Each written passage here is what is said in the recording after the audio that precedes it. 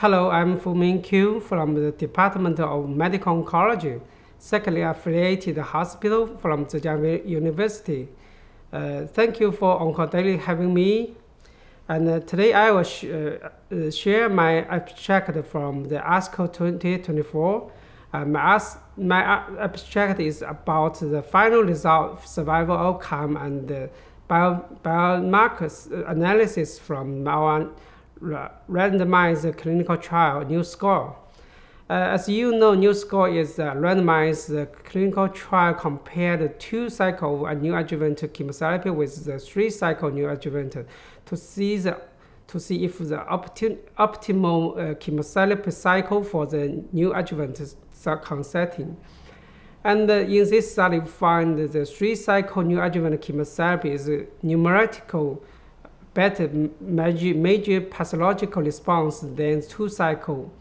And uh, we've also find the, the this year we also find the two cycle. Uh, we also find the the in this final uh, analysis we find the two cycle and three cycle uh, have no difference in DFS and OS. Yet we find the uh, major MPR has a better, better, D or better in DFS and OS.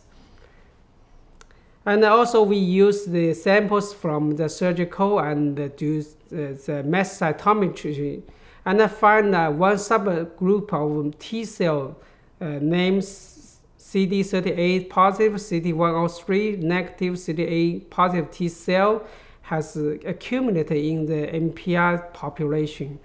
Uh, and this population has a better DFS and OS. So this, this could be a, a new subgroup of T cell response to the uh, uh, T, uh, adjuvant chemotherapy, and maybe uh, the first infection and uh, function and the the mechanism of this subset set has been uh, under, under research. Thank you for having me. Don't forget to like, comment, share, and subscribe to OncoDaily on YouTube. Hit the bell icon to stay update.